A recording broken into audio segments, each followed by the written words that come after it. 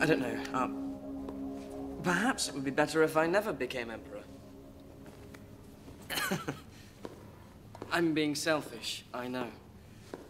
But I think it's necessary for me and Ghanima to have the freedom to learn to live with what we are. And what are you Leto? That you need this time to find out about yourself. Why don't you tell me? It's why you're here, isn't it? You remind me of your father. And my grandfather? My namesake. Your beloved Duke. Such an admission would be complicated, wouldn't it? We may have to enter a realm of intimacies that would make us both uncomfortable. In a way, I find it reassuring that he lives on in you. How little you understand how he lives on in me. Is that what you're struggling with?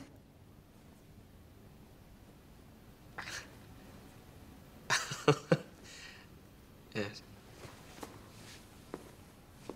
To know the future is to be trapped by it, Grandmother. My father knew it, but he couldn't escape it.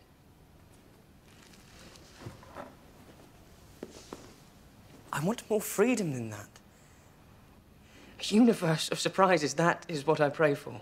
Is such a universe possible for someone like you? Possible? Well, yes. But is it desirable? I have a difficult decision to make, Grandmother. Do I accept the Atreides mystique? Dress myself in our myths? Live for my subjects and die for them? Or do I choose another path? A golden path? One that may change me, change human destiny forever. I don't understand. No, I know you don't. Because you do not understand time. I can help you Leto. Oh, on the contrary, Grandmother.